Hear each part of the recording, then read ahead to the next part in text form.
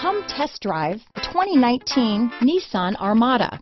The Nissan Armada seats up to eight comfortably, boasts an endurance V8 engine with 317 horsepower, 385 pounds of torque, and 9,100 pounds of maximum towing capacity.